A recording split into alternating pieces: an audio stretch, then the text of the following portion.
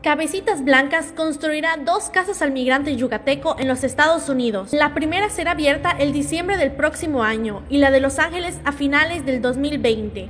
Será como parte del programa Reencuentro de Personas Migrantes con sus padres y madres Cabecitas Blancas, anunció el gobernador Mauricio Vila.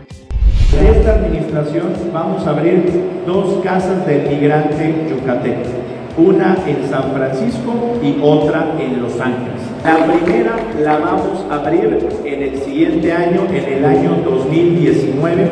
La vamos a abrir en el segundo semestre del año. Ahí les vamos a estar dando los pormenores. Y la, esa, la primera va a ser en San Francisco, porque es donde está el mayor número de yucatecos. Y la segunda la vamos a abrir en Los Ángeles y seguramente va a ser a finales del año 2020. De igual forma, el gobierno del estado realizó la entrega de 41 pasaportes a personas de la tercera edad, beneficiados del programa Cabecitas Blancas. El motivo es para que tengan facilidades para acercarse a sus familiares que residen en el extranjero. Hemos sumado nuestros esfuerzos para hacer posible el reencuentro de padres e hijos.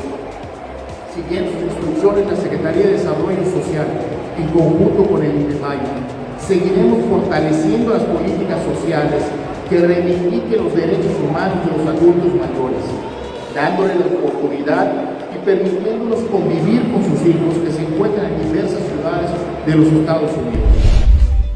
Informó para Eclipse Televisión, Elka González. Eclipse, Televisión Digital.